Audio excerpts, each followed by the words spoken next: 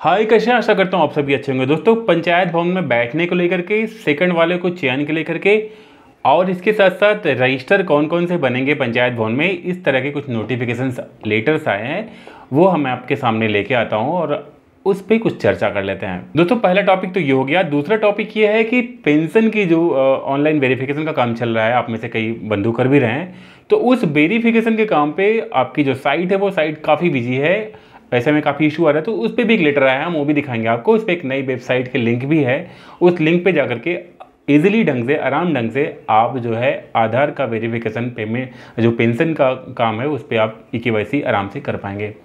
तो आइए पहले लेटर देख लेते हैं, जिसमें पंचायत भवन पे बैठने की बात और सेकंड वाले के चयन की बात की। उस पर दूसरा लेटर फिर देखते हैं हम कि पेंशन की कौन सी वेबसाइट है। तो यहाँ पे साफ़ साफ़ पहला आप देख सकते हैं, पहला लेटर यहाँ पे है आपका ये, हालाँकि लेटर तो ये आपका सिद्धार्थ नगर का है, लेकिन इस तरह से सभी ब्लॉकों पे लेटर्स बनाए जा रहे हैं और कुछ जगह भेजे गए हैं, कुछ जगह नहीं भेजे गए लेटर आप देख सकते हैं, ये लेटर है उन्नीस अप्रैल का।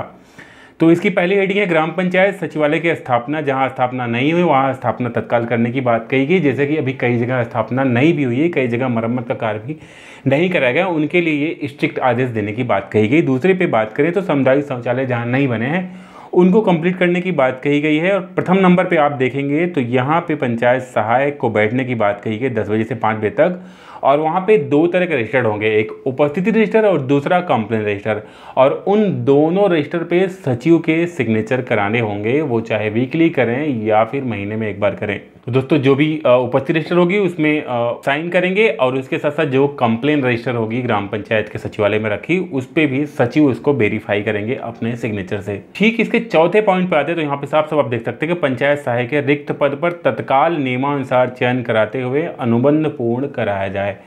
तो इसका मतलब लेटर है 19 अप्रैल का, और ये नए आदेश इस तरह से भी आ रहे हैं। कई लोग कॉल्स भी आते हैं, सर, हमने डी से बात किया, यहाँ बात किया, वहाँ बात किया, लेकिन सेकंड वालों के लिए कोई नए लेटर्स नहीं है। तो आप देख लें इस तरह के नोटिफिकेशन आना शुरू हो गए हैं और लोग जल्द ही आपके गाँव में भी इस तरह से लेटर जाएँगे और ये अनुबंध सचिव के माध्यम से प्रधान को प्रेशर करके ये कंप्लीट कराए जाएँगे, जो सेकंड वाले फ़र्स्ट ने इस्तीफा दिया या जहाँ भी अनुबंध दोबारा नहीं हुए हैं, जहाँ भी रिक्त पद है, वहाँ के लिए व्यवस्थाएँ करने की बात की गई है। दोस्तों, अब ठीक आते हैं दूसरे पत्र पे, जिसमें बात की गई है पेंशन के ई वेरिफिकेशन की। तो यहाँ पे साफ़ साफ़ आप देख सकते हैं कि पहली जो वेबसाइट थी, वो वेबसाइट स्लो थी और ये निसले समाज कल्याण उत्तर प्रदेश के द्वारा लेटर है। तो दूसरी जो लिंक दी गई है, आप यहाँ पे देख सकते हैं सब तक कि उक्त विषय पर अवगत कराना है कि आधार प्रमाणीकरण का कार्य सुचारू रूप से संचालित किए जाने हेतु नई वेबसाइट, आप यहाँ पे देख सकते हैं, बीच में ये वेबसाइट का लिंक है, इसको मैं टाइप करके भी डाल देता हूँ।